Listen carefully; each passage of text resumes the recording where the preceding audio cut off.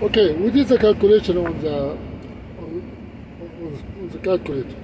That is 59 psi, which is stable now, times the surface area of the rubber on the ground, 567 square inches.